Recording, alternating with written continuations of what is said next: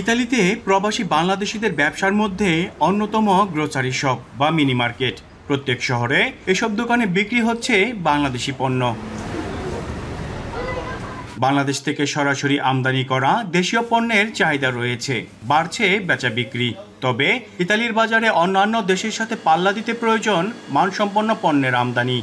বাংলাদেশি মালগুলো যদি বাংলাদেশ থেকে কোয়ালিটি এবং প্যাকেজিং যদি সুন্দর হয় তাহলে এখানকার ব্যবসা আরও প্রসার লাভ করবে ইটালিতে বাংলাদেশি পণ্য অনেক কম। এগুলা যদি রপ্তানি করা যায় তাহলে আমাদের দেশে অনেক লাভবান হবে। যদি আরও ভালো মানের পণ্য আসে ইটালিতে তাহলে আমরা ব্যবসায়ীরা অনেক লাভবান হব এবং বাংলাদেশের অর্থনৈতিক উন্নয়নে আমরা অনেক অবদান রাখতে পারব।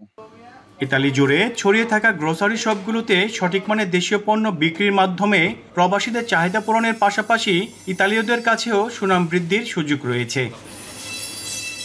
ইতালিতে বাংলাদেশি খাদ্যপণ্য প্রসারের অন্যতম মাধ্যম এই গ্রোসারি শপ।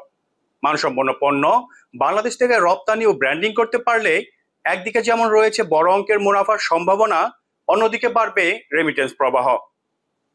মনিরুজ্জামান মনির, এখন ইতালি।